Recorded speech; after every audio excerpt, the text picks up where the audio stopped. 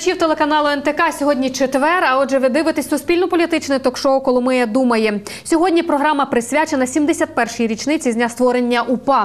В переддень цього свята власне ми і поговоримо про ті проблеми, які сьогодні турбують суспільство у сфері власне визнання е, героїв УПА, у сфері державної підтримки цим людям. Сьогодні у студію ми запросили представників ветеранського руху УПА, представників громадськості і представників влади. Отже, ми спілкуємося із головою районної ради Богданом Болюком. Ми спілкуємося із Мирославом Симчичем, живою легендою, е, сутенним кривоносом. І також ми спілкуємося із Михайлом Андрусяком. Це людина, яка на теренах Прикарпаття, мабуть, найактивніше е, вивчала цю діяльність і описала все це у своїх книжках, е, за які отримала Шевченківську премію. Ну і депутат обласної ради. Також у залі присутні журналісти і представники різних громадських організацій. Отже, пане Богдане. Е, Вже минуло 20 років незалежності. Як ви вважаєте, е, ну більше навіть як 20, як ви вважаєте, чи достатньо держава пошановує людей, які віддали своє здоров'я, свою молодість, ну часто, звичайно, багато і життя за незалежність України, тобто за вояків упав, чи на достатньому рівні ми їх пошановуємо, чи отримують вони належну підтримку від держави? Звичайно, що моя відповідь буде однозначно ні.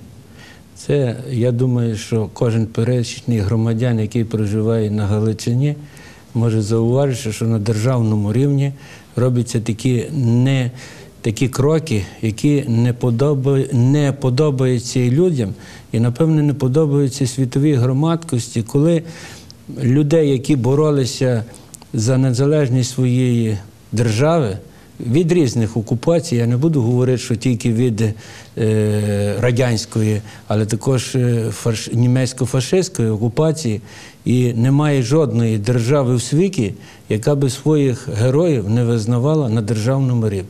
На жаль, у нашій державі це є. Я вважаю, це було блуд з першого е, початку нашої незалежності, коли була не проведена люстрація, і ті люди, які якраз і знущалися над цими людьми, і е, вони, на жаль, писали такі закони, і по звірячому, я можу інакше не можу сказати, я не боюся того слова, е, з такою ненавистю, розумієте, боялись, бояться і понині цих людей. Ми зараз в дискусії е, скажемо про ці речі, бо я не хочу говорити багато, тут кожен скаже. І я вважаю, що У нас е, на Західній Україні таких проблем нема. Адже їх не треба визнавати, вони є вже в героях, живуть у людей, у кожному в серці. Е, Люди вже е, знаєте, трошки, я вважаю, що лише трошки, бо тої правди, яку про ці, про ці, про ці ті часи і про той рух, е, на жаль, зараз ще стоять під всіма замками е, секретно. І коли ми дізнаємося всю ту правду, яка була, це дійсно сколихне суспільство. Але е, це потрібен, на це потрібен час. І я думаю, що це настане цей час і не за горами той час, коли так буде. І я думаю, що е, у нас не треба визнавати. У нас вже визнані вони героями.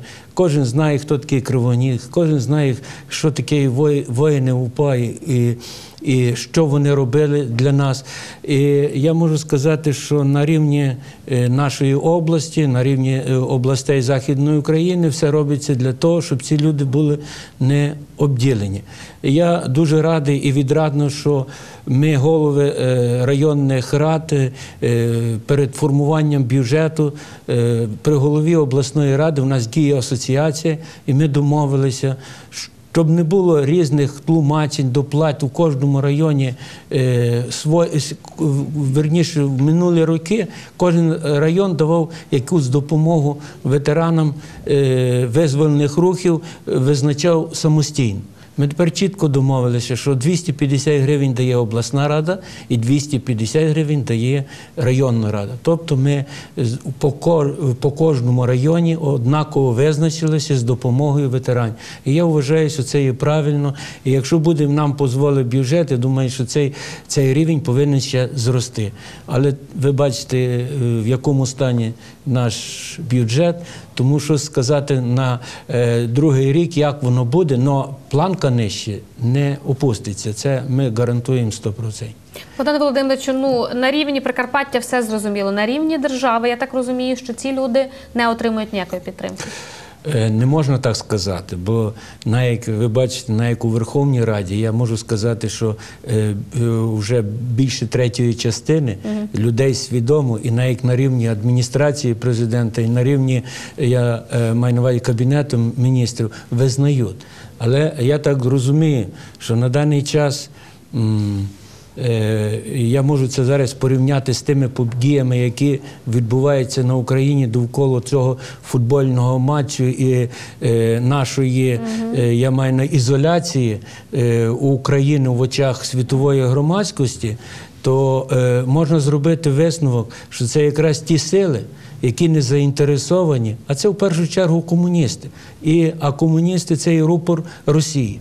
І ми, на жаль, я можу сказати, я не буду сказати, і наші ближні е, е, західні сусіди, які нас хочуть бачити в Європі, також не- неоднозначно е, відзиваються про цей е, наш визвольний рух. І тому це є загроза як зсередини, так і ззовні. Але я думаю, що е, просто е, нам просто треба трошки терпіння і просто будувати державу на такому рівні, щоб ми е, знайшли порозуміння і дотик на тих процесах, які е, нас об'єднують. А ці процеси, які роз'єднують, дати можливість, от таких, так як пан Михайло і іншим, хай історики. Літератори, хай пишуть книжки, хай люди дізнаються правду. І я вважаю, тоді вже проблеми як такої не буде. Ви пам'ятаєте, як було спочатку з голодомором, і тепер вже вся Україна фактично е, відзначає пам'ять про геноцид голодомор. І вже навіть устидно тим людям, які е, колись у Верховній Раді голосували проти, їм вже важко подивитися у вічі на, на східній Україні. Я думаю, що люди там дуже багато розуміють, вони просто не знають правди. І Я коли спілкувався, ну виїжджаючи з делегаціями, спілкуючись з різними, е, люди дуже то гарно сприймають. І вони кажуть, чого нам не, не говорять правду, чого з нами не розмовляють. І не дивлячись на це суде, коли і на російській мові, але коли з ними порозмовляти, коли починати їм фактами дійсно розмовляти, вони то дуже гарно сприймають. І не люди роз'єднують. На жаль, політики, і зараз так побудована е, українська політика, що на цих фактах і роз'єднують е, по лекторату людей, і це дуже вигідно. Але я думаю, що це прийде у минуле. Цей факт е, довго не буде. Я все-таки вважаю, що у нас підростає молоде покоління, яке є досить грамотне і зараз свідомість. Так, і, і скоро е, ці люди, е, які зараз це гальмують, це просто їм буде колись соромно дивитися у, у людям в очі. І друге, я вважаю, що без люстрації без люстрації е, ми не, не зможемо зробити прогрес. Все-таки е, повинна бути люстрація. І це показали ті країни, поки не було люстрації в Польщі, поки не було в Прибалці, вони також купцювалися на місці. А ми повинні знати своїх героїв, як кажуть, і тоді е, зовсім інший піде процес у державі. Я дякую, пане Мирославе. Як ви вважаєте, чи достатньо сьогодні люди цікавляться правдою про УПА? Ви живий свідок, живий учасник тих подій. Чи часто до вас звертаються розказати, е, поділитися спогадами, е, спростувати можливо, чи підтвердити ті чи інші факти? Відповідаю. Справа в тому сьогодні, що процентів 75 цікавляться нами і з нашою, нашою справою. А от ти розумієте, що я розумію, що які по сьогоднішній день підтримують партію регіонів, партію регіонів ну, це так або наші покручі, або просто росіяни. Їх, їх тут на Україні, ще на наших західних землях, то їх ще менше. А на східних, от зайди в Запо... Я жив у Запоріжжі, то там не почуєш, не почуєш українського слова у трамваї або до. Або то, а як ти самий заговориш, то дивляться на тебе, як на якби ти десь з Марса упав. Тобто, ви вважаєте, що е, сьогодні є достатній високий інтерес до цієї теми? Так, сьогодні на сьогоднішній день вже Люди на хочуть знати правду, так? Саме головне, що мене радує, це що це молоде покоління, яке вже зараз, яке вже зараз підросло. Це в основному люди свідомі, які то які підтримують наші ідеї на створення держави і не тільки на словах, але й на ділі. Я дякую. Пане Михайле, е, минуло вже ну, чимало часу, відколи ви почали е, досліджувати питання боротьби українського народу проти е, Радянського Союзу ну, і одночасно проти фашистів. То справді була армія, яка воювала на, скажімо так, проти двох ворогів. Все-таки от минуло багато років. Чи вдається дістати свіжі факти, свіжі якісь свідчення, відкрити свіжі імена, наприклад? Е, Насамперед привітаємо наших е, телеглядачів з великим християнським і українським святом е, з покровою вас. Наша історія зіткана з парадоксів. 1940 року, коли Франція стала на коліна перед Гітлером, підписавши рукою маршала Петена ганебний для французької нації ганебні умови капітуляції. Е, Деголя, генерала е, Деголя, е, той же французький уряд засудив заочно на смерть за те, що він виявив непокору і вирішив продовжувати з невеликою групкою французів боротьбу проти гітлерівців. Через якийсь час генерал Деголь очолив французький рух опору. Так от про французьких партизанів Макі знає весь світ як про героїв, як проти борців. Е, Як про борців проти нацизму, хоча їх була е, маленька горсточка. Той же генерал Деголь, ставши вже президентом держави Франція, сказав: якби я мав таку армію, як УПА, французький чобіт ніколи б не топтав, е, німецький чобіт ніколи б не топтав французької землі. Сьогодні ми маємо таку ситуацію, що нащадки тих, хто пацифікував Західну Україну, хто гноїв українців у березах, картузьких, інших польських концтаборах, е, називає українців вбивцями.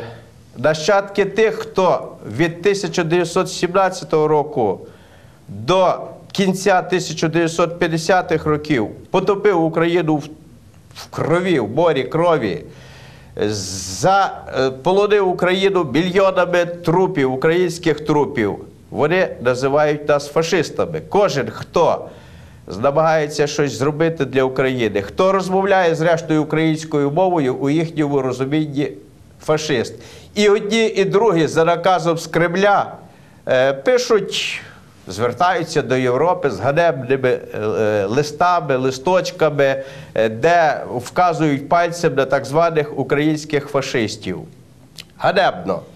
І це на 22-му році незалежності, тієї незалежності, яку вибороли, яку виборов Мирослав Сипчич боротьбою понад 6 років УПА, понад 30 років перебування у сталінських комуністичних концтаборах. Але маємо те, що маємо. Факти про УПА, взагалі про підпільний рух, про збройний і незбройний підпільний рух українців випливають, бо шила у мішку довго не втаїш. Е, Не так давно, коли президентом України був Віктор Ющенко, е, були відкриті архіви. Е, Було видано на світ дуже і дуже багато матеріалів. Завдяки таким людям, як Валентин Наливайченко, як е, наш краянин, галичанин е, Володимир В'ятрович, молодий історик, е, світ отримав ну, масу, масу матеріалів, масу фактів про визвольний український рух. Зрештою, на них десь будую свої теперішні книжки і я. Я дякую. Хочу почути думку людей, яких ми запросили у студію. Власне, ми підійшли до 71-ї річниці, і все-таки суспільство, на жаль, ще знає не все, не всю правду про е, повстанський рух, про українську повстанську армію, про те, в яких умовах ці люди боролися е, за ту незалежність, яку ми маємо сьогодні. У нас у студії є представники власне ще цього ветеранського руху. Будь ласка, е, пан Іван Кічак. Е, я перепрошую, пане Ігоре. Е, те, що ви бачите по телевізору зараз, те, що ви чуєте, задовільняє вас та правда, яку ми чуємо про УПА? Є проста відповідь. Якщо ви читали, є прекрасна річ, повість Автодоса Осмашки Ротонда душогубців. Він написав її після війни в 50-х роках. Знаєте цю повість? Це найжахливіша річ про Україну в періоду. Відбулася стерилізація України від усього розумного, доброго, порядного. І там, там і саме Сталін є там герої Сталін. Він так і сказав там, якщо Україна стане, це неможливо, але якщо таке стане, що буде незалежна, то вона буде Україна стерилізована. От вона тепер така є. Тому у нас така біда, тому цей рух не визнають на державному рівні, бо це держава стерилізованих народу, народ покалічний, хворий народ, душевно, психічно хворий. Совєтизований, розпікований, але то найкраще стерилізований від свого порядного і розумного. От тому така біда. Як вирішити проблему? Як ви вважаєте? Ну Це потрібно скоро молоді не, розповідати. ілюстрація навіть не поможе. Це мусить прийти дійсно покоління, Час. може навіть не одне, а кілька, щоб народ віджив і став здоровою нацією українського способу думання, українського характеру. Це не та Україна, це не українська Україна. Я навіть колись писав якусь статтю недавно в коломийських вістях, що діється з Україною, то назвав цю державу Російська Родезія. Це коли вона деколонізація колоній африканських, азіатських, то англійські колонізатори в Родезії проголосили в 60 роках самостійну Родезію. Тобто вона перестала бути колонією Англійської імперії, британської, а насправді лише лише державою колонізаторів. Тепер там є Зімбабве, бо народ боротьбою добився своєї свободи. Ми маємо тепер таку українську, тобто російську родезію під назвою Держава Україна. Але скрізь за зборшем стоять Ленін, пам'ятники Леніна, вулиці Карла Марса, Енгельса, і там міста Кіровоград, Дніпропетровськ, взагалі Комсомольськ. То Це, це не є українська держава, вона так називається. Нас обманули символікою, а насправді збереглася та большевицька совєтська є самоскільна держава, але не українська, а колонізаторів. Я дякую. Тому така біда. Я дякую. Е, Пане Іване, власне, я знаю, що ви ще дуже молодим пішли в повстанський рух. Е, Що спонукало вас тоді? Це треба, ну, якщо молода людина йде на це, це було виховання. Я у, ще у свої юні роки, е, 44-й, 45-й рік, 46-й, а так як у мене родина вся затіяна була у братство УПА, то мені приходилося під час війни е, тоді збирати зброю, е, кулі, гранати носили ми і складали у таке місце, щоб хлопці, коли приходили, забирали. Мав я стосунки з москалями, з гарнізонами. Брали мене туди на попитки, били. Ну, була така справа, що стрибка втопили. Ну, е, я там, я там був, але друге ліце утопили хлопці. Били, катували. Ну, і як сказати, весь час був битий. Але я такий був, що я йшов, як кажуть, вперед. Ішов навіть з Мирославом, з цим, що ми ще здибали. Хоча ми, я був ще юнаком, а він вже був Чи- Чеки, приходив у село Тишківці, там ми ще здибали з ним. Ну, таке, що багато є, що розказати, що більше що буду казати.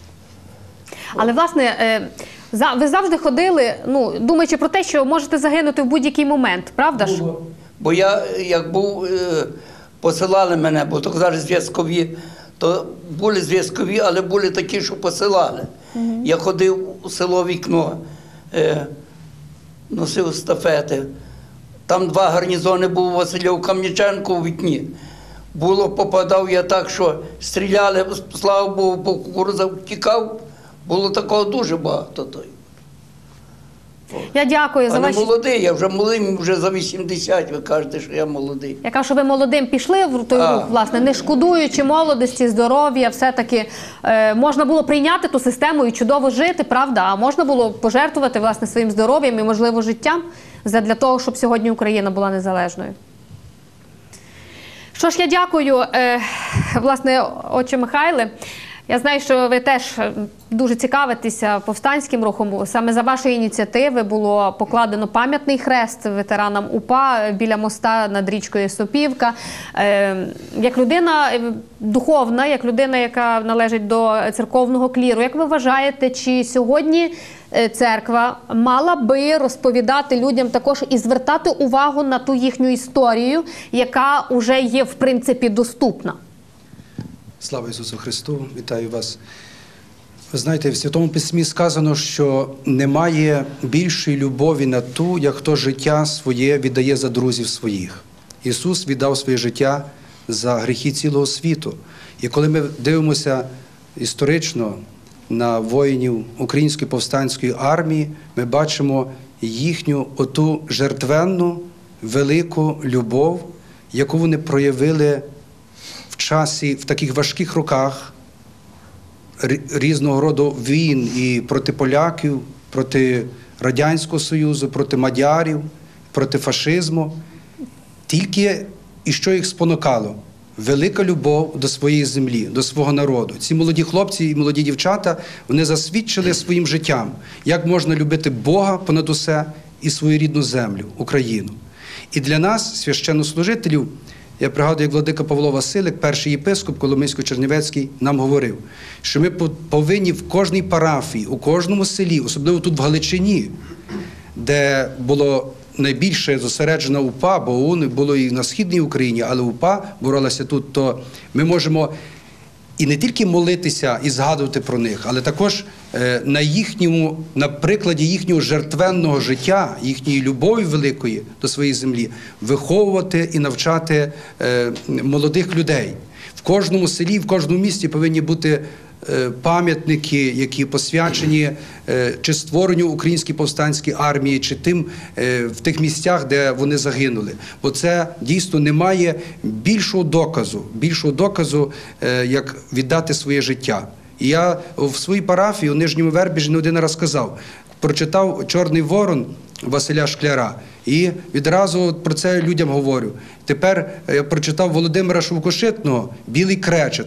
Це прекрасні речі. Це показується оце героїзм і молоде життя. І вони не жаліють нічого. В них велика ідея. В них є велика любов до Господа і до своєї рідної землі. І якщо ми, священники, е, не всі читаємо, то те, що ви запитуєте, чи ми повинні, ми повинні насамперед священники, усі священники різних конфесій читати ці речі і своїм парафіянам про це говорити. А то так буває, що і священники не читають, і тоді є проблема. Вони не можуть розказати е, своїм парафіянам. Бо це така правда. А ми повинні з більшою наснагою, з більшою жертвенністю також жити. І для нас якраз є прикладом ці герої, і пан Мирослав Симчич, і всі ті, які ще живуть, воїни Української повстанської армії, які засвідчили своїм жертвон, жертвенним життям велику відданість Богові і своїй рідній землі Україні. Я дякую, пане Михайле. Я знаю, що ви були ініціатором власне першого фестивалю повстанської пісні, який відбувся у вас у селі.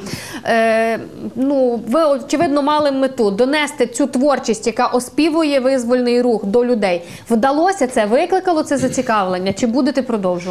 Е, Ви знаєте, ми будемо це продовжувати тільки в тому сенсі, що нам потрібно, бо в той час це створювалося вже і день села, було такі святкування, день села, і поєднали з фестивалем української повстанської пісні. Я вважаю, що це недоречно. Е, Українська повстанська пісня це є щось іншого. Там е, на день села можуть звучати різні, і там танці, та все. А ми будемо робити повстанську ватру і повстанські пісні, стрілецькі пісні. Ось без різного роду таких, знаєте, там е, сцен, щоб це все воно нівелюється. А так з патріотизмом, з молитвою насамперед е, починаючи. От, от ми будемо це продовжувати і, і в неділю, 13, е, 13 жовтня, перед покровою Пресвятої Богородиці, ми е, о 18 годині біля Христа на Супівці, який посвячений 70-річчю створення Української повстанської армії, ми гарно проведемо е, е, таку повстанську ватру і заспіваємо повстанських пісень, і згадаємо всіх тих, які е, віддали своє життя за Україну і за нас, зрештою. Вони ж за нас померли. Вони віддали своє життя за нас. Я дякую. Е, Тут присутні історики. Власне, як ви думаєте, пане Олексію, е, чи достатньо наука звертає увагу на ті ще приховані сторінки, невідомі сторінки повстанського руху. Адже це насправді, ну як на мене, просто е, надзвичайно широкий матеріал для дослідження, для е, того, щоб е, донести молоді, студентам власне правду про ті часи, про тих героїв, які заплатили життям за те, що нині ми живемо е, в українській незалежній державі. Е, Дякую за питання, пані Тамара. Дійсно, останнім часом дуже багато є наукових досліджень з даної проблематики. Е, Треба зазначити, що насамперед вона більш-менш об'єктивна, яка у нас, на жаль, у нашому регіоні е, в Галичині. Ну, в Києві також є інститут історії. Е, Є відділ історії Другої світової війни. Там також праці цих вчених, які працюють в цьому відділі, є досить об'єктивними. Це навіть незважаючи на те, що цей відділ є під постійним тиском нашого шановного міністра Табачника. Але е, зрештою, решт, е, поступ є і вважаю, що дуже багато праць, особливо молодих істориків, е, того ж самого В'ятровича, останнім часом з'явилися на основі документів, які мали певний час був доступ до цих документів. Вважаю, що все ж таки, якщо порівнювати років 10 тому, то Праць появилось дуже багато, і треба значити, що об'єктивних праць. Е, навіть е, останнім часом з'явилося кілька праць, е, виданих в Російській Федерації. До речі, також серед них є і багато об'єктивних. Що ви можете сказати про наші підручники, шкільні та студентські? Про студентські скажу, що немає якихось є особли... е, немає особливостей щодо студентських підручників, а щодо шкільних, то там є е, чітко програма е, Міністерства освіти. І, на жаль, ми знаємо, що останні підручники історії України, починаючи з 5 класу, де не згадуємо ні Крути, не згадуємо, не згадуємо ні Шухевича, ні Бандеру, ні повстанців, ні дисидентський рух, на жаль. Дякую, Вікторе. Ви журналіст.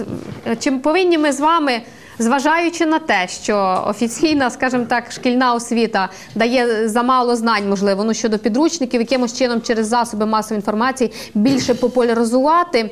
Е, ту інформацію про повстанський рух не тільки можливо в переддень річниці УПА, але й впродовж року. І як на вашу думку робити це правильно, так щоб зацікавити читача і глядача? Ну, в першу чергу, само собою, що це одне із наших завдань. І постійно, і Коломийська правда, ми це робимо не тільки перед е, святом, але на протязі року досить часто ми друкуємо матеріали власне про УПА.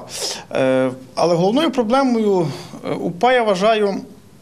Те, що, на жаль, на сьогодні е, знання про УПА циркулюють в сфері ну, такої, знаєте, інтелектуальної частини суспільства, які дійсно цікавляться, яким це цікаво, які дійсно е, здатні ну, раціонально це все осмислити. Але е, треба відзначити, що в, в своїй масі ну, люди, які. Е, Історію вивчають лише з підручників, яким не треба е, вивчати якісь там е, факти невідомі, відомі. Їм треба, ну вони цим не цікавляться, і вони цього не знають. І власне це і проблема того, що вони ну ніхто їм це не доносить. Так тобто, на жаль, УПА і історія УПА це лише зараз відомо лише в дуже таких вузьких е, колах українського суспільства, ну інтелектуальних. А для того, щоб УПА, зокрема, було визнано на державному рівні, я щиро в цьому переконаний, воно повинно, ну тема повинна бути винесена е, ну, в маси, так тобто, щоб вона була відома простим людям, які ну яку до історії не мають жодного відно, жодного відношення.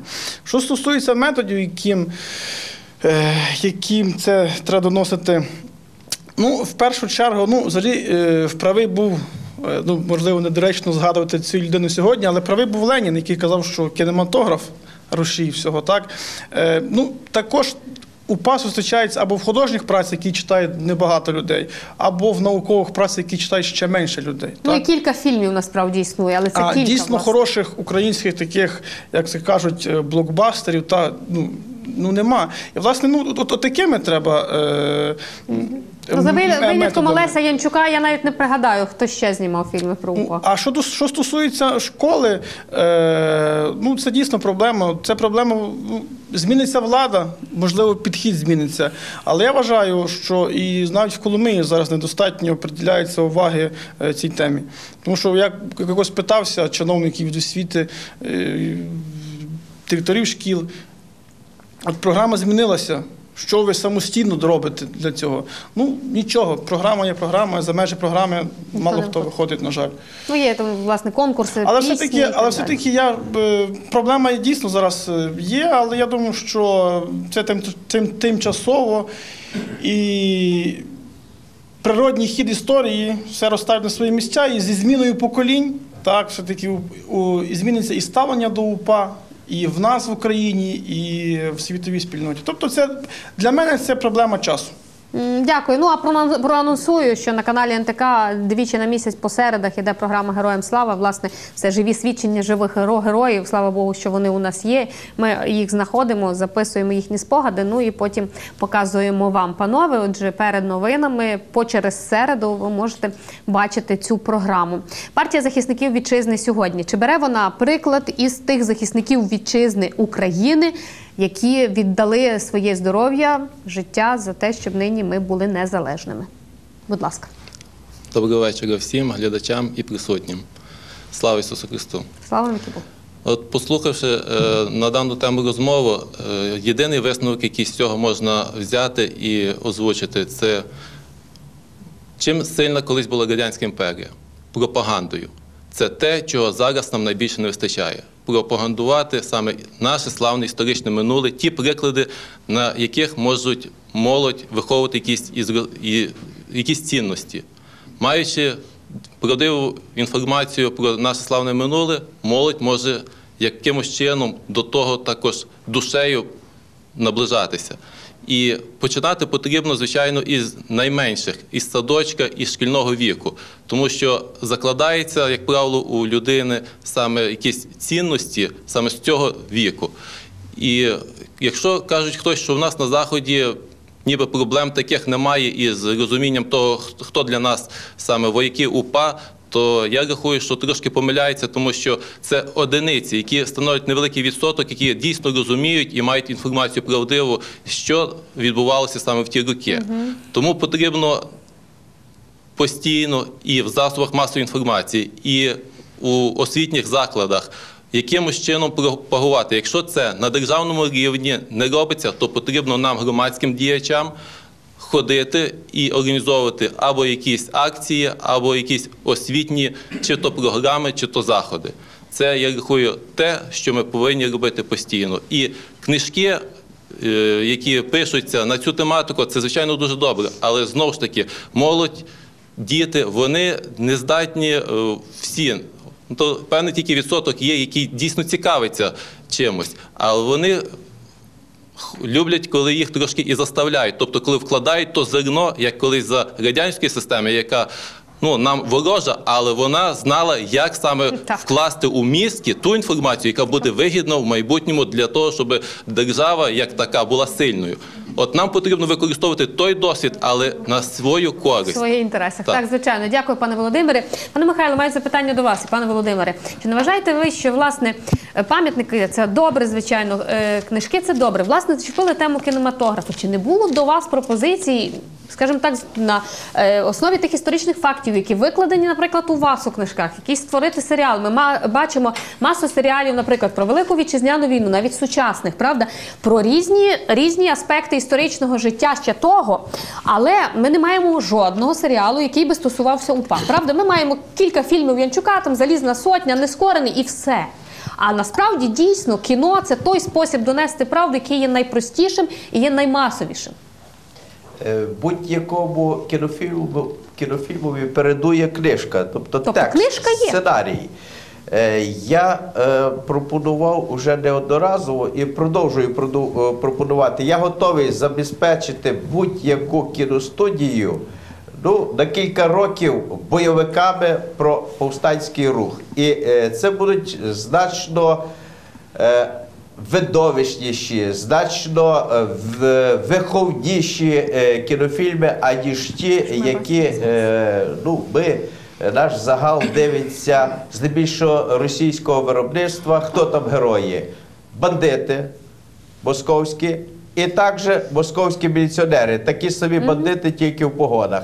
І оце безперервні вечори йдуть оці бойовики. Так, справа е, за коштами, тому звертаюся.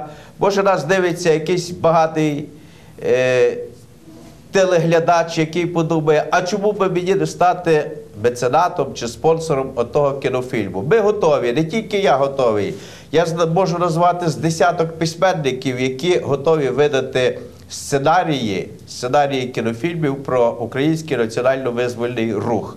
Вони є готові. Вони ось тільки взяти і і, запускати їх у, в народ. На рівні влади чи колись обговорювалася така тема? Я взагалі так слухаю це все, і мені прикро. Прикро за те, що, по-перше, ми згубили своє кіно. Ви знаєте прекрасно. Ну, якщо конкретно про кіно, то так. то кіно згубили. Ми взагалі від- виділяємо майже ноль грошей В Україні, на наше. так? Так. Друге, ми допустили, що зняли фільм про Тараса е, Бульбу росіяни. Це просто, я взагалі вважаю, ну не хочу сказати, якими словами я би хотів це обізвати. І ви знаєте, як він піднесений той фільм, в якому ракурсі. Це також не історичний фільм про Тараса Бульбу. Ну, це ви, ви, ви, ви бачили, ви бачили. Все-таки в Україні є талановиті люди, є талановиті не- режисери, не які можуть це зробити, і є автори. Та в нас кіностудія Ну, Доженка, кіно, Одеська кіностудія це було колись найкраща кіностудія в Радянському Союзі. Фільми, які друге, випустили залізну сотню. Скажіть мені, будь ласка, який центральний канал показав цей фільм? Давайте візьмемо. Ні один, жодний такий канал, який користується великою популярністю, не показав. Показало десь там ТВІ і показав ще, по-моєму, е, п'ятий канал чи що. Одним словом, канали, які ну, в Не рейтингу такого загального такого загального так. цього. І саме основне якраз на Східну Україну. Оце проблема. Навіть тих два чи три фільми вони не Тих не показано. видно. Оце є біда. Я ще раз поясню. До того часу, поки політика буде будуватися в державі на роз'єднання, поки не буде у нас жодних поступів у визнанні цього. Оце повинні люди зрозуміти. Бо як будують, ви знаєте, кожен, кожна політична сила має свій електорат. І якщо зараз сказати людям правду, то тоді люди будуть, ви знаєте, їх питати не за. Ну, ви, ви дивіться, починаються вибори, незалежно які вибори. Іде вибори. Що починається проблема? Мови, національного Розділяють схід і захід, це І починають, розумієте, ділити людей.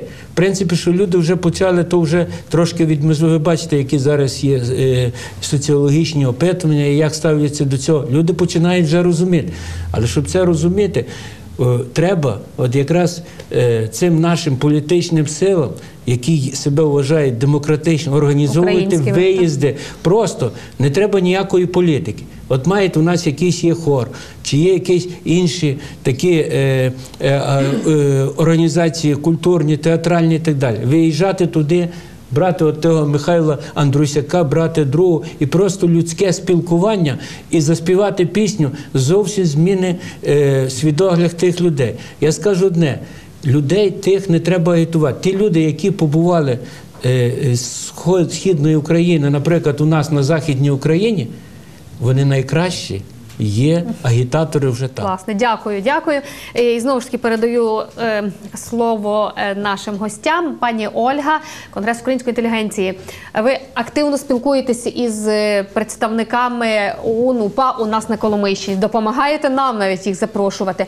Що це дає вам? Е, Як е, вдається чи вдається організовувати спілкування їх із молодіжному середовищі, наприклад, е, з гостями, які приїжджають до вас? Чи цікавляться вони цими людьми, їхньою історією, їхніми подвигами?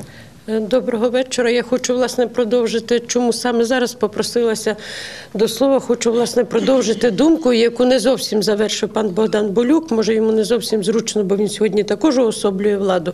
Але хочу сказати, я, мабуть, повторю тут не раз уже е, думку нашого краянна, героя України Василя Ткачука, що ми перед е, поколінням повстанців, перед поколінням національно визволь... е, учасників національно-визвольної боротьби у неоплатному і вічному боргу, і цей борг найбільше моральний борг.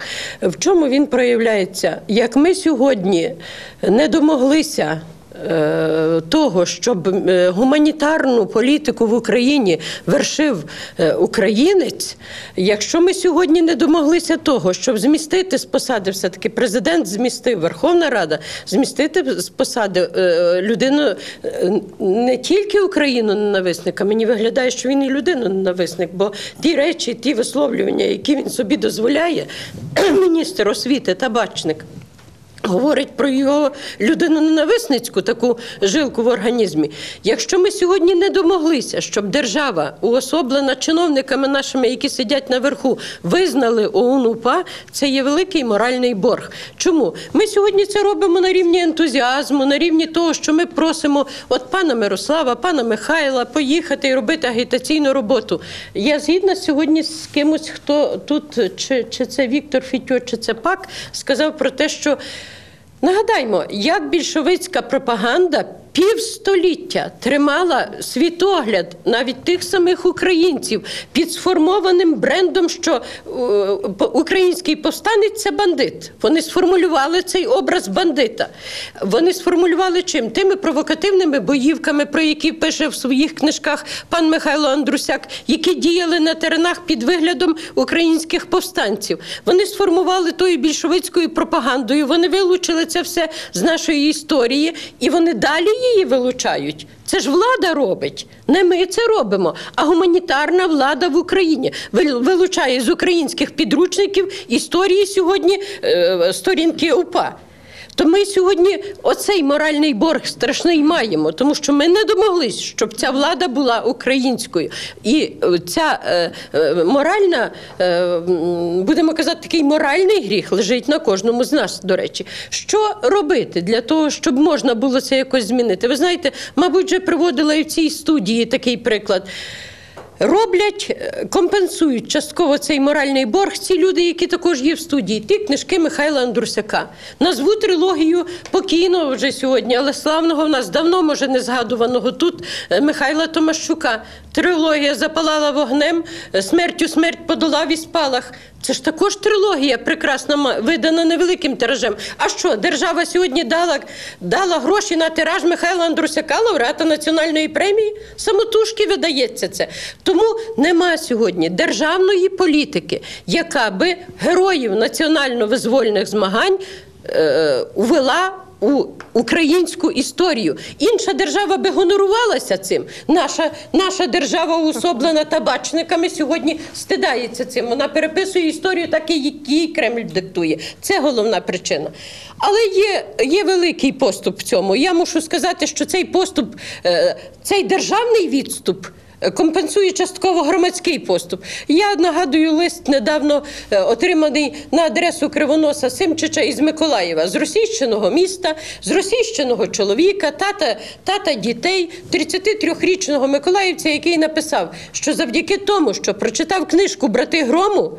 І написав не авторові, а написав Симчичу, в якому пізнав цей подвиг юнака, який захищає свою рідну землю, свою рідну державу, не йде на когось нападати, а захищає став тут і, і захищає рідну землю. Він сказав, що завдяки тому він став українцем. Написав листа російською мовою, попросив вибачення, сказав. Я від сьогодні став українцем. Я сьогодні пішов у російськомовний садок і забрав свою донечку звідти і перевів її в українськомовним, бо я хочу, щоб вона росла патріоткою України. Я хочу, щоб вона була українкою. Я не знав цієї історії, але я її пізнаю через вас і через книжку.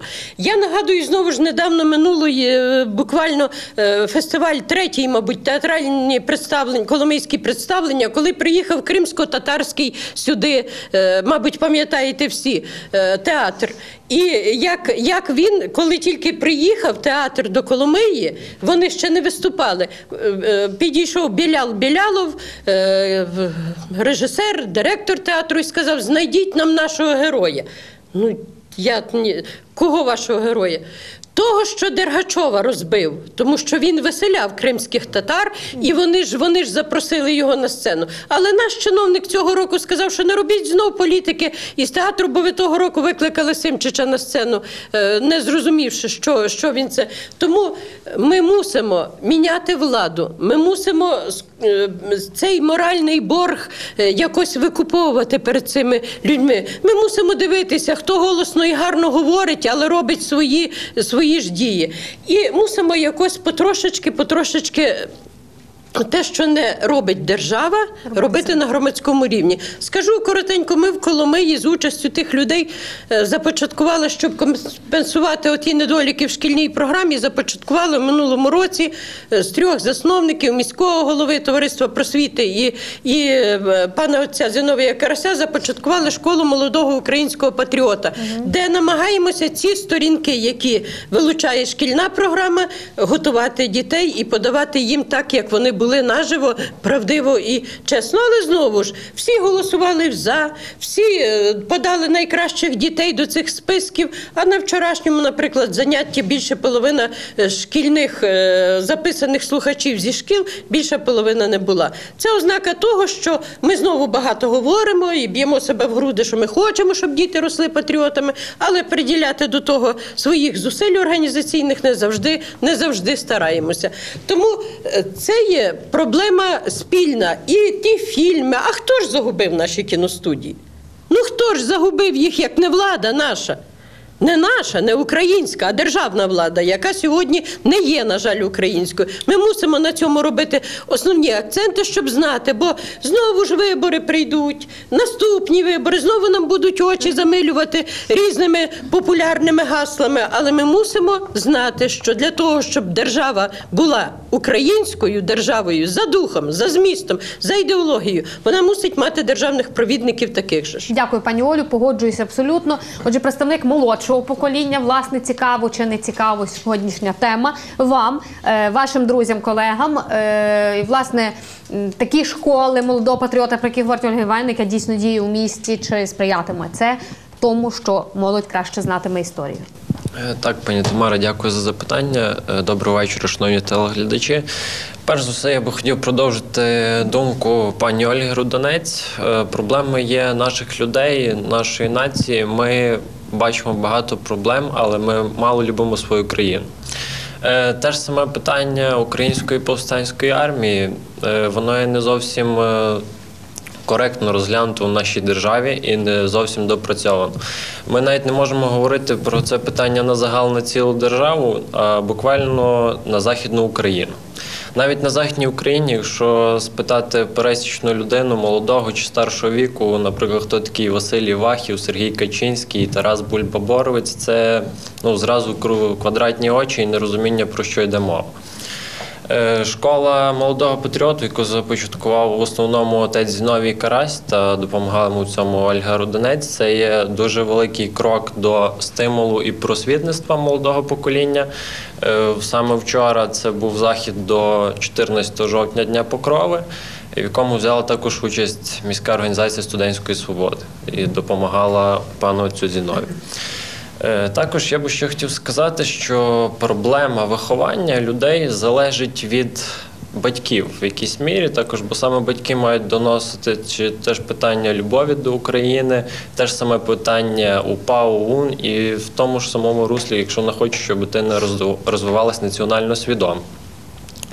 Також важливою має повинна стати освітня реформа, на мою думку, тому що коли е, в рух йдуть такі дії, коли пан міністр Табачник е, забороняє згадувати про крути, про УПА ОУН і про національно-визвольний рух, який став символом та, я би сказав, першим кроком до здобуття незалежності нашої держави.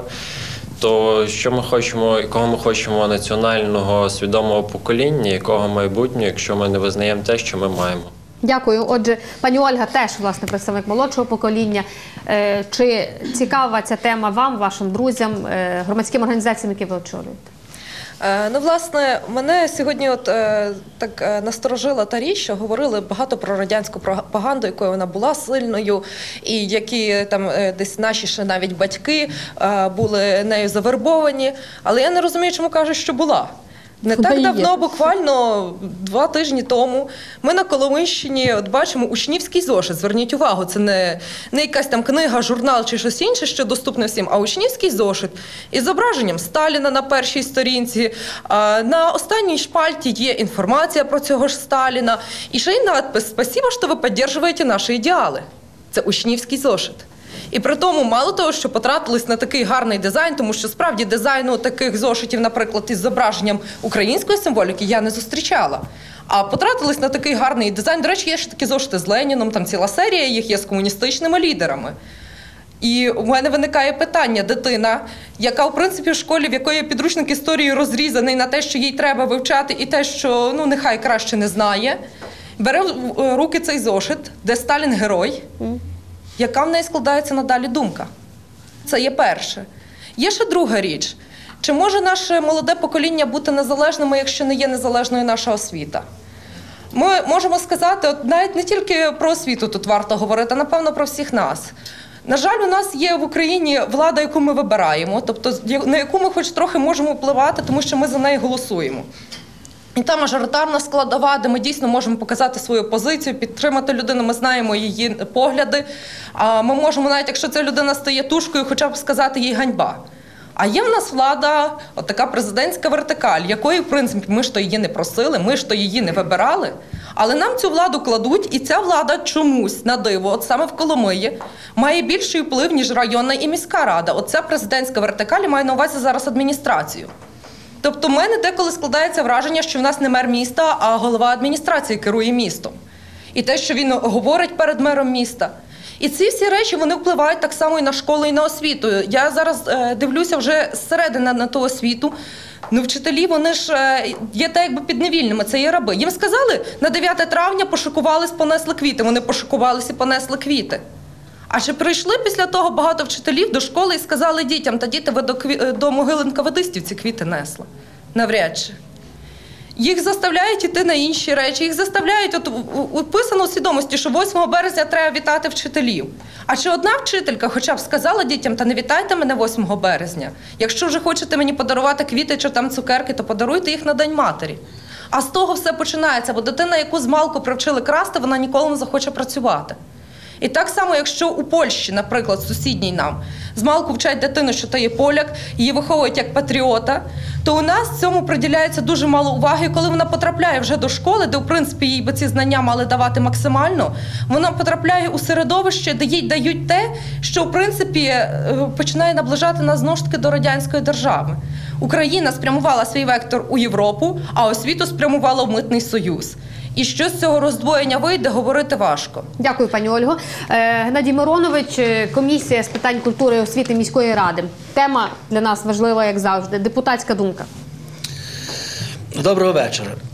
Е, Я би хотів продовжити те, е, що говорив Михайло Андрусяк і Богдан Болюк про тих перевертнів, які очорнюють все е, те, що пов'язано з нашою історією і з боротьбою української повстанської армії. Я би сказав, що вони не тільки очорнюють, вони користуються плодами того, що зробила українська повстанська армія. Тому що як не було б української повстанської армії, то не було б у нас сьогодні незалежної України. І не були б вони міністрами сьогодні, не були б депутатами Верховної Ради, той же Калісніченко, який їде в Польщу, очорнює українську повстанську армію, а потім 140 депутатів Верховної Ради звертаються до польського сейму, щоб Сейм признав, що українська повстанська армія чинила геноцид проти польського населення. 140 депутатів Верховної Ради, які б ніколи б якби не було України, вони ніколи б не були депутатами і не отримали б величезні гроші за це. Отака у нас ситуація. Тепер знову ж те, що Богдан Болюк нагадав про футбол. Здавалось би, що таке футбол, але він має величезний вплив на мільйони людей, на молодих людей. Я був під час того матчу присутній, я був глядачем на тому стадіоні. Ніякого там не було ні расизму, ні нацизму. Ну, були, стріляли з фаєрів, але це буває на всіх стадіонах. Максимально за це є штраф. Але, е, так як сказав Болюк, е, комуністи чинять провокації.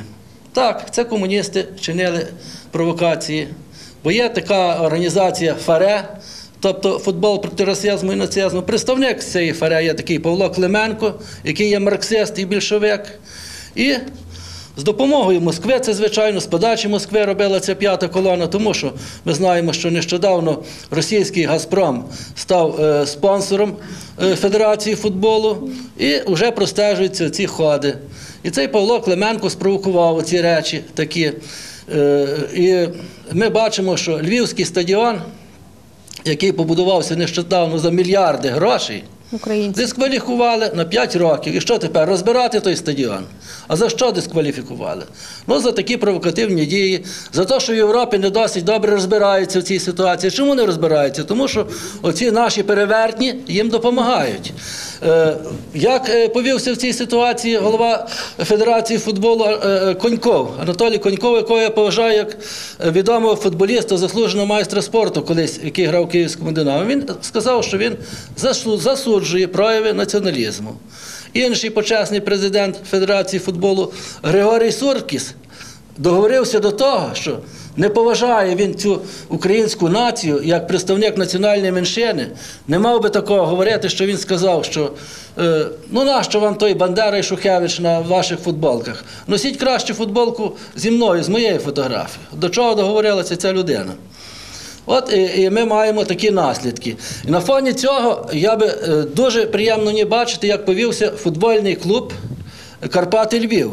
Три, так, е, три дні назад вони сказали, що зробили заяву, що цю дискримінацію робили не українські вболівальники, якраз ФАРЕ робила дискримінацію проти українського народу. А вчора взагалі вони прийняли рішення, що червоно-чорний прапор Української повстанської армії є офіційним прапором футбольного клубу Карпати Львів, і футболісти Карпат, Карпат будуть його використовувати, е, а також будуть використовувати спорт- спортивний одяг у червоно-чорних тонах. І це дуже приємно. І вони сказали, що вони не хочуть, щоб львівські вболівальники були сірою масою, а щоб це були справжніми патріотами. Я вважаю, що після цього болільник піде на львівський футбол. Тому е, ми е, так само хочемо, щоб коломіяни долучилися до таких акцій патріотизму. І в цьому році ми е, е, широко в Коломиї відзначаємо 71-ту річницю створення Української повстанської армії. До цих заходів долучився народний депутат Олександр Доній. Е, Користуючись нагодою, я закликаю коломіян взяти активну участь у цих заходах. Хочу нагадати, що о 13-й годині в понеділок буде такий велопробіг із міста Коломиї до села Спас, де буде відкритий пам'ятник знак е, воїнам Української повстанської армії, які е, загинули в боях за Україну. Потім о 16-й годині у Народному домі пройдуть урочистості. О 18-й годині біля пам'ятника Степанові Бандери буде е, панахида за померлими, а також відбудеться факельний похід від пам'ятника Степана Бандери до площі відродження, де буде запалена ватра слави о 19-й годині. Е, Дякую, Дуже теж хоч, е, пані Тамара, ще хотів сказати, що о 19-й годині біля ватри слави е, прибудуть відомі політики, такі як Ярослав е, Кензер, е, е, приїде також Степан Хмара. Василь Шкляр буде, Олександр Доній, відома співачка Софія Федена. Е, Ще будуть е, гурти, які будуть виконувати патріотичні пісні, приїдуть з різних кутків України. Прохання всім е, коломіянам прийти, послухати гарну музику, а також підтримати українську повстанську армію своєю присутністю. Пане Дякую. Геннадію, дякую. Ще дві думки мене почули. Пані Ярослава Ткачук та Марія Ославська. Будь ласка, наш ефірний час вичерпується, тому будемо лаконічними. Отож, ми обговоримо проблему суспільної думки щодо УПА. Ваше бачення. Ну, сьогодні е, з усіх цих розмов, з цих виступів, що говорили наші колеги, е, вони були не е, без ноток болю, ми можемо зробити висновок, що на превеликий жаль, ми нащадки воїнів, борців за волю України, сьогодні не маємо тієї сили духу і волі такої і таких переконань, і такої відваги, яку мали наші е, воїни УПА. І е, я думаю, якщо б ми мали цей дух і цю волю, і е, не мали би тої боязні, ми б не стали рабами в школах. Бо жоден, е, жоден міністр і жоден е, е, начальник, жоден, жоден президент не може заставити учителя святкувати 8 березня чи виводити дітей масово на 9, е, 9 травня до пам'ятника колонами. Я вважаю, якщо б ми мали це, ці переконання, нас ніхто б не, не зміг змусити. Якщо б ми, ми були такими сильними духом, ми б не дозволили зробити цю наругу над українським футболом і, зрештою, над Україною, яка зроблена є, про що говорив Геннадій Миронович. І е, про те, що пропаганда е, російська. Е, Вона е, діє, і проти УПА вони почали діяти власне в 43-му році, тоді, коли УПА вже заявила про себе перед цілим світом, що це не є банда, про яку говорили, що це є банда якихось там обідранців, які е, воюють проти радянського союзу, проти Червоної армії. А власне тоді, коли це була армія і була визнана цілим світом, тоді радянська пропаганда вслід за німецькою пропагандою один в один вони почали проводити е, пропаганду проти е, власне е, повстанців УПА. Німці говорили про те, закидали листівками населення про те, що ОУН та повстанці УПА і Бандера є прислужниками Москви. Москва у свою чергу говорила про те, що навпаки це є прислужники Гітлера. Але народ знав, що він робить. І, власне, непосильна праця, непосильний е, такий е, відтинок тієї боротьби ляг на плечі українського селянства, українського народу, який виніс це все, не здавав. Вони інформували. По селах були виставлені всюди сторожові пости. Вони інформували упівців. Вони інформували про те, е, про наближення е, німецьких колон чи наближення е, і розвідка працювала чудово. Сьогодні, на превеликий жаль, ми про ці речі дуже мало говоримо. Е, Сьогодні, взагалі, е, від влади немає не те, що підтримки, а навпаки, все робиться ніби е, тих- тихо, в такий спосіб, щоб не було нічого зроблено в напрямку просування і подачі цієї правди, окрім тих небагатьох істориків та тих небагатьох уже нам відомих письменників, які все-таки зуміли прорвати цю завісу цієї мовчанки, такої якоїсь ніби нейтральної, і все-таки донести це слово правди до загалу, до зага- е, до українського загалу. Я хочу сказати, що як на мене, то ось у мене є книжка. е, Це є Миколи Лебедя, е, одного із керівників проводу ОУН.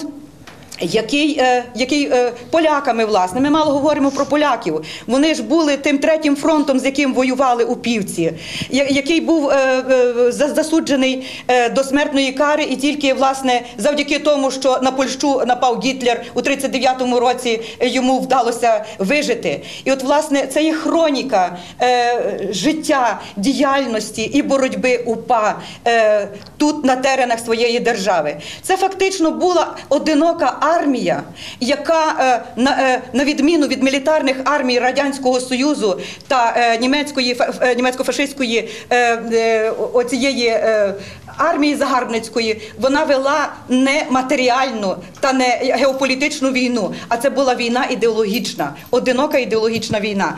І власне про це говорить е, тут і Микола Лебідь. Якщо можна, якщо дозволите, я просто одну з листівок, можливо, одну з останніх листівок упівців, е, де вони зверталися е, до е, українського народу е, у 44 січня 44-го року, в той час, е, коли УПА вже була розділена на два фронти. УПА постала з метою, щоб доказати, що український народ не дозволить себе безкарно винищувати, що він не стане знаряддям у ворожих руках імперіалістів, що він не дасть добровільної своєї праці і крови для загарбницьких цілей Москви і Берліну, а перед їхнім терором буде себе боронити. УПА від ряду місяців веде успішну оборону життя і майна українського населення. І хоч нашу самооборону намагався не раз окупант зломити терором, то проте він мусив дуже скоро переконатися, що не вдасться вже йому вести мільйонів на каторжні роботи своїх заводів, що не дістане він добровільного рекрута на фронт, що не минули вже безповоротно часи, коли він наказував вивозити останнє зерно з України і приневолював наш народ голодувати. Наш рятунок тільки в організованих рядах усього народу. Тільки національні відступники можуть рятувати свої голови, лишаючи народні маси на поталу ворогові. І ще одне щодо табачника. Якби табачник, той, що належить до тих меншин в Україні, в Україні, знав добре, що власне, що його народ. Його багато вихідців з його народу рятували життя українських упівців власне в підпіллі. Я думаю, що він би не, не смів так огульно і паскудити власне цю нашу українську історію. Я рятували їх. Так, так, звичайно, А, їх рятували. рятували Але я- їх. вони як лікарі. Я маю на увазі, як, як лікарі, як фахівці. Він знає Я дякую. про це. Е, Пані Марія, ще вам слово, оскільки наш ефірний час справді абсолютно Як би не топтали вороги наші внутрішні вороги і зовнішні вороги, не- як би не топтали нашу Україну, я маю таку пропозицію, виходячи із того, що пан Болюк сказав, що є е, обласна асоціація депутатів, районних депутатів. Я апелюю до цієї асоціації через вас, пане Болюк, так як є у нас е, е, депутат обласної ради, міської ради в нас є депутат. Нехай обговорить ця асоціація, оскільки тема УПА, нехай обговорить вихідний день, 14 жовтня, день УПА вихідним днем. До обласної ради асоціації хай звертається, а обласна рада, в свою чергу, до Верховної Ради. Таким чином популяризуємо, популяризуємо е, е, історію УПА і дамо е, такі відгуки у засобах масової інформації. А також прошу, прошу пана Болюка е, висвітлювати це у нашій громадській газеті Народна трибуна. І дам будемо таким, будемо таким Значить, чином співпрацювати. По-перше, я ще два слова сказав. Перше, е, у нас буде 22-24 сесія, і таке звернення від районних депутатів ми надішлемо зразу, щоб зробити на теренах з е, Івано-Франківської області вихідним днем. Це ми, я вам обіцяю, ми це обов'язково, це вже в ефірі. Ми таке зробимо. Е, Шановні, я цього зробив один висновок. У кожному негативі, що ми сказали, є позитив. Ви бачите, яка шалена була політика Росії по тиску по відношенню на підписання нашої угоди Асоціацією Європу, це з цим митним союзом, з цими товарами, що провело? Воно мобілізувало зготову Україну. Так. так само, це, що відбулося на стадіоні, воно теж дасть позитив. Це відоб'ється. Почали кричати Слава, е, слава Україні на Львівському стадіоні. а Тепер на кожному стадіоні України кричать Слава Україні, героям слава. Це перший крок. Воно обов'язково відоб'ється. І саме основне, що би я хотів сказати, щоб ми тут, на Галичині, незалежно від того, яка є політична сила, аби ми не шукали ворогів між собою. Це є основне. Бо вороги нас самі знайдуть. А нам треба не шукати між собою. І якщо в нас десь якісь є суперечності, ми повинні сісти і ті вирішити. Я знаю, з любою політичною силою, яка є, я завжди знаходжу спільну мову. Можете, хто спрацював зі мною, це завжди можна. Лише треба слухати інших. Не тільки те, що ти говориш, а треба слухати інших і думати, що людина має право також думати. А тоді, коли люди сідають, то не можуть. І я прошу до такої єдності. І Я тоді дякую. ми можемо зробити дуже багато. Я дякую. Нагадаю глядачам, що наш ефірний час завершився. Е, наша програма стосувалася е, була присвячена 71-й річниці створення української повстанської армії. Намагалися обговорити проблематику висвітлення боротьби е, за незалежність України, власне, у всіх сферах суспільства, починаючи, як ви кажете, від дитячого садка і закінчуючи абсолютно дорослими людьми. Бачимо, що звичайно чимало ще білих плям, чимало ще білих плям власне у нашій свідомості, в українській свідомості. Але, мабуть, треба над цим працювати. І, мабуть, коли ми про це говоримо, це вже якась частина справи зроблена. Я дякую за увагу. Дякую нашим гостям за те, що е, прийшли і взяли участь у програмі Коломия думає. До нових зустрічей.